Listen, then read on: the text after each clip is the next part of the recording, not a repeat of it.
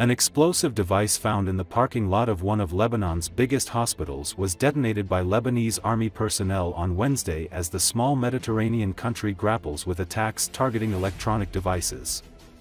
The army placed the device in a hole to safely detonate it after it was found in the parking lot of the American University of Beirut Medical Center. The controlled explosion took place as Lebanon was rocked by a second wave of exploding devices. Walkie-talkies and solar equipment exploded in Beirut and multiple parts of Lebanon on Wednesday in an apparent second wave of attacks targeting electronic devices. At least nine people were killed and more than 300 people wounded in the second wave, the health ministry said. This comes a day after hundreds of pagers used by Hezbollah blew up, state media and Hezbollah officials said.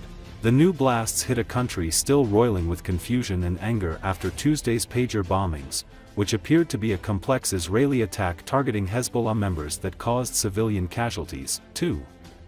Tuesday's bombings killed at least 12 people, including two children, and wounded some 2,800 others. The attacks, which were widely believed to be carried out by Israel targeting Hezbollah, have hiked fears that the two-side simmering conflict could escalate into all-out war.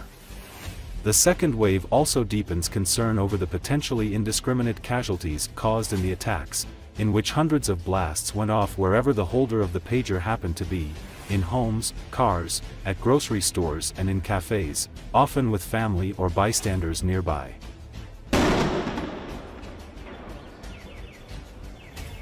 situation.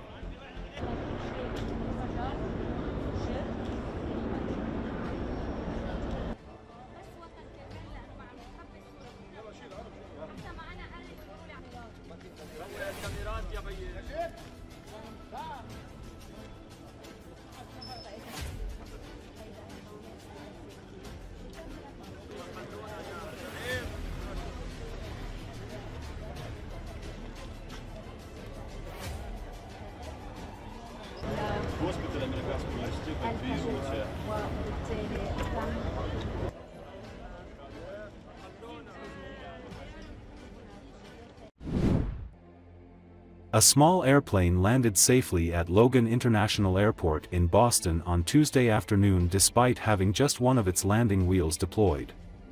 The Cape Air Cessna 402 had two passengers and one crew member.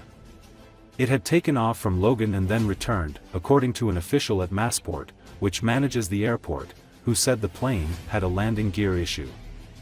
There were no injuries. Video showed the plane coming into the airport with only one wheel down and landing, with one of its wings resting on the ground. The plane was on its way to Bar Harbor, Maine, when the pilot was informed about an anomaly with the landing gear just after takeoff, according to Cape Air. Cape Air said the pilot of Cape Air Flight 1833 performed the appropriate checklist and landed the aircraft back at Boston Logan Airport. The plane landed at about 3.20 p.m. There was no information immediately available about the cause of the landing gear issue.